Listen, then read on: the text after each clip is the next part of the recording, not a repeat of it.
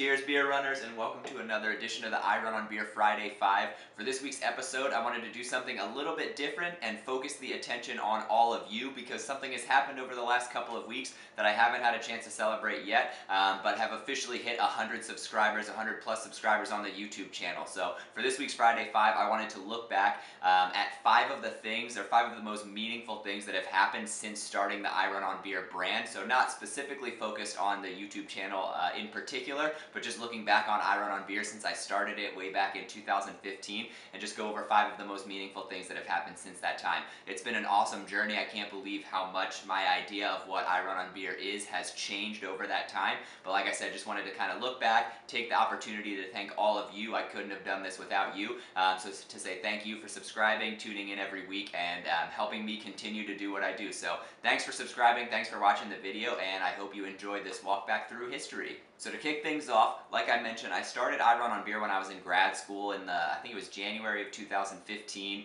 Um, really didn't know what I was doing, what my plan for I Run on Beer was. I just had this idea, hey, I really like craft beer, I really like running, and when you combine the two, you bring some great people together. Um, and so just wanted to kind of build something based off of that small idea. Uh, but the first thing that really led to a significant change for me along the way was joining BibRave and the BibRave community as one of their ambassadors, one of the BibRave pros. So Gotta give a special shout out to BibRave. You'll see the lion behind me in every video as long as I remember to place him there. Um, but BibRave is a community of runners. We get to test a lot of products, run races, etc. Um, all in exchange for promoting those brands and races and getting to test a lot of new running products and things like that. So sounds like a pretty cool gig. It's very similar to a lot of other influencer programs except, except this one exposes you to a lot of different experiences instead of just one brand in particular. Um, but what I have loved even more than those testing opportunities from BibRave is just building the community of runners and getting to know and getting to meet so many like-minded individuals um, and just getting to participate in that community. I've talked to a lot of the people at BibRave constantly about the most meaningful impacts that have happened to me um, that have really helped improve my running and joining BibRave is absolutely up there with one of them. Before joining them, um, I was running half marathons pretty casually, had no ambitions to run anything farther than that, but after joining BibRave, uh, everyone else in that group has just continued to motivate me, push me farther, uh, and seeing how much fun and how much excitement other people's other people are experiencing with the races that they're running and the things that they're accomplishing has really motivated made, motivated me to continue to push farther. That's uh, extremely true in starting to branch into the ultra running um, and deciding to get give that a try for the first time. It's totally new territory for me, so I'm using the experiences of them a lot uh, to draw on and to ask questions, but just having that community to motivate me. That holds true also for the I Run on Beer community as well, which I'll get into in one of the later points, but just having the support of the BibRave community and having some people that I know I can lean on when I have questions, need a little help, need a little motivation, etc. Um, it has, I have seen myself continue to grow and continue to improve since joining BibRave and can't wait to continue to experience those benefits hopefully in the years to come. I'm gonna try to move through these in chronological order if I can remember. Um, and number one and two, I'm definitely a little bit fuzzy on which one came first, but the number two, one of the coolest things that's happened to me since starting I Run on Beer was selling my first piece of gear. I'm actually wearing the original I Run on Beer shirt very simple, plain gray cotton t-shirt. I still have tons of these in my closet. I definitely over purchased them, um, but obviously sold a bunch to friends and family. I had a lot of people who were excited about what I was doing, but uh, it was so cool and so meaningful to me when the first person reached out to me on Instagram and was like, hey, I love those shirts, how can I get one? Um, and even still, I'll get requests every now and again, sometimes for the original. Unfortunately, these are the only ones that I have a back stock of because I stopped over ordering after this first one, um, but just so cool to see not only obviously the support of my friends and family, but realizing there are other people out there who are interested in spending money on some of these products.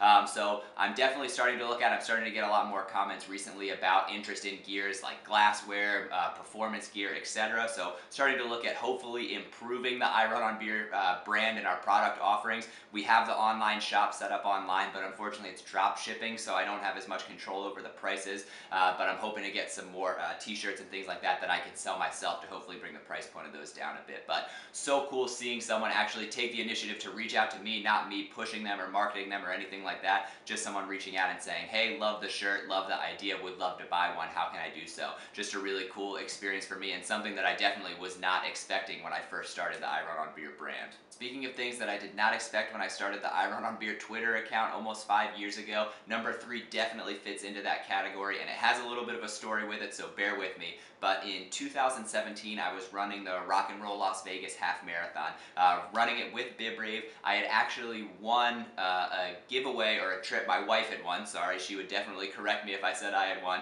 She won a giveaway that was basically a discounted trip to Las Vegas. Uh, we got to choose the dates and everything like that, but basically we got free hotel um, and a couple free shows while we were there as well. We ended up being able to work out with a bunch of our college friends to jump in on the, the trip as well, so we got everyone together in Las Vegas, and luckily I was able to coordinate with BibRave to get entry into the Las Vegas Half Marathon as well. So a very cool trip, cool experience, but that is only uh, part one to the story. Part two is running this race. It was taking place right after the shooting that happened in Las Vegas. Um, and so because of that, security measures were very tight at the race and they made a lot of last minute changes. Um, they canceled the pre-show outdoor concert, moved it indoors, and as far as lining up before the race, I think they didn't want to have too many people gathered in one place at one time for too long, so they changed up how the corrals were going to work um, and only had, you had to show up, you couldn't show up and hang out at the starting line ahead of time. There was a very tight window where you had to get to the race, get ready, get your gear, get in line, and as soon as everyone was lined up in the corral, they opened them right before the start time. You had, I think it was only maybe 20 minutes to get into the corral, get lined up right before the start. Um, and they had like, they would put five corrals in at a time, start them. Then they'd have another group come, get them lined up, start them. Like I said, just to not have too many people gathered in one place at once. But we're rushing in, there's a lot of chaos, everyone's kind of running around trying to get themselves organized. I get into my corral, we get lined up with however many thousands of people are all packed in there as tight as you can as sardines, like trying to get ready to go. Everyone's feeling a little bit antsy, and I'm trying to shake myself out, loosen up my muscles, stay loose, get ready for the race. A little bit anxious going into the race, not having uh, run at night before. If you're not familiar with the Rock and Roll Las Vegas run, it starts at sunset, so a lot of nerves, just ready to go, ready to see how I could do. And I was also shooting for a, pretty ambitious uh, PR for myself, so just very excited, nervous, etc. You're used to those race nerves, pre-race nerves, lining up at the starting line. But as I'm shaking myself out, I go to stretch, I'm jumping around, and I happen to bump the guy next to me, so I just casually turn, oh, sorry, and keep stretching. But he kind of does a double take and looks at me again and just says, hey, wait a minute, are you I Run on Beer?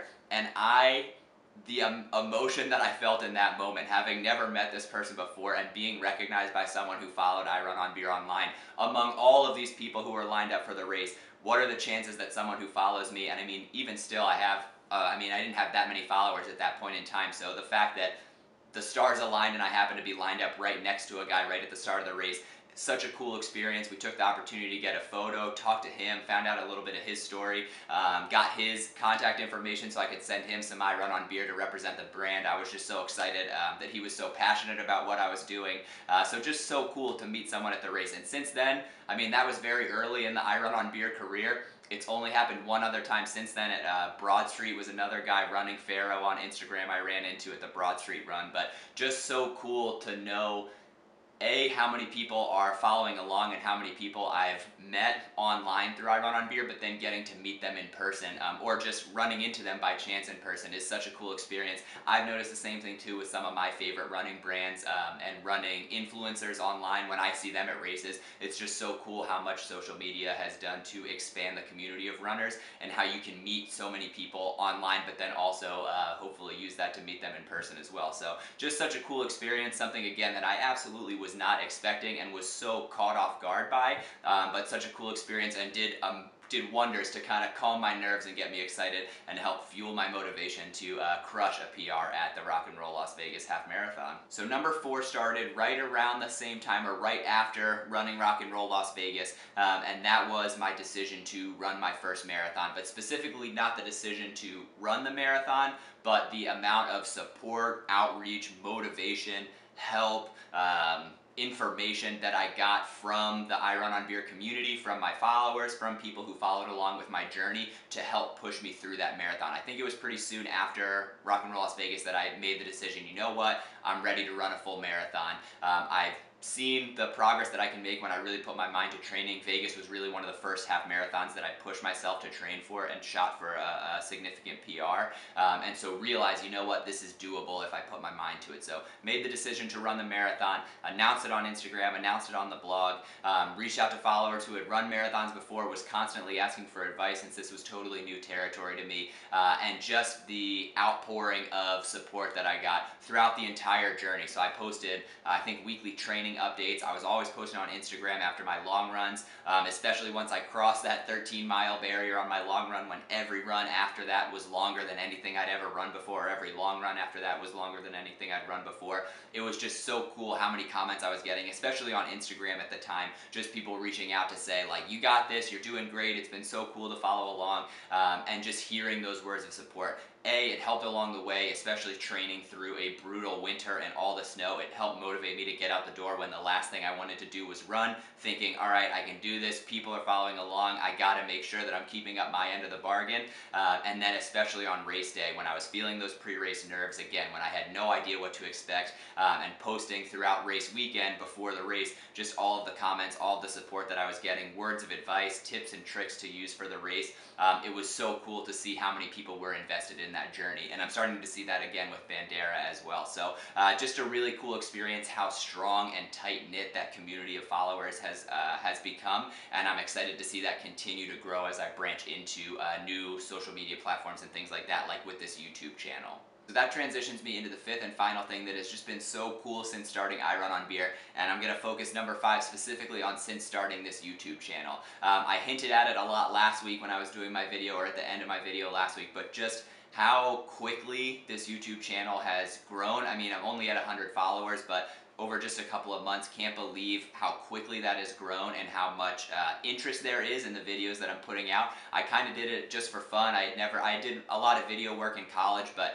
just wanted to kind of branch into YouTube. It was totally new to me, was looking for something to kind of mix things up with I Run on Beer, so thought I'd give YouTube a try and have just really fallen in love with the media and with the platform, and especially with the comments that I'm getting from people who follow along with the videos. So it has been so cool to see the difference in the type of feedback and type of comments I get between platforms. Instagram, a lot of the comments are just like very quick, congratulations, high five, etc. Just really quick, sometimes just um, emojis, etc. Just brief, to the point, little tidbits on some of the posts that I do. But on YouTube, you can see there's a lot more thought behind the comments that go out to it. Um, and just having people reaching out saying, I'm just getting started in running and found this video so helpful. What would you recommend for XYZ? Or thanks for putting this out. It's been really helpful for me to accomplish XYZ. Um, it has just been so cool to see how much of an impact I can have on others just by sharing my experience. I by no means see myself as an expert in the sport, um, but it's really cool just to see that, you know what, I have run a decent amount of races, I have a fair amount of experience, and even just that little bit of experience can do a lot to help others. And I feel like this is the best way to get that experience out there just by sharing these videos, and it's been cool to see that uh, paying off. A couple of my favorite comments uh, have been from the people who are just starting out, especially younger runners. That gives me a lot of uh, nostalgia feels, remembering when I was just starting out in cross country in high school and seeing their excitement and their enthusiasm about just getting started in running. Um, and then also just getting started and running and seeing themselves continue to progress and just really improve so much in the beginning because there is so much room for growth when you first start out. And just seeing the excitement around that has been really cool. Um, and then the other thing that has been really cool is uh, a couple of messages that I've gotten from people privately who are have just got it started in running, might be uh, a little bit older, might so on the opposite end of the spectrum, but have decided to give running a try and are using my videos and my posts as motivation to push themselves. Um, one woman in particular reached out to me uh, who had just decided to run her half marathon and was watching along with my posts and things like that as I was training for something to help her keep motivated to continue her training. She just finished her first half marathon recently and she reached out to me to send, him, uh, send me a message that she actually decided to sign up for the New York City full marathon. So Just really cool to see how quickly people can get involved and excited in the sport um, and the fact that they are using some of my words, my training, my motivation, etc. to help give them the fuel that they need to accomplish whatever goals that they're working on. Again, something that I never expected when I first started this brand, but something that I truly, truly appreciate um, and hope to continue to do um, and to continue to promote throughout the rest of the time that I'm doing this. So uh, just really enjoy. Sorry, I don't want to get too emotional uh, or too uh, sappy about it, but just really cool to see how much uh, impact that I can have on other people while just making these simple videos and just simply sharing some of my experience. So like I said, I want to do these videos for you and pitch them towards your interest. So if there's ever any questions that you have or anything that you want to see, feel free to reach out, send me a message, let me know what you're looking for, or just comment on what you're interested in, uh, and hopefully I can make that happen. So that's just a quick walkthrough of five of the coolest, most meaningful things that have happened to me since starting I Run on Beer. I can't wait to see what's coming next.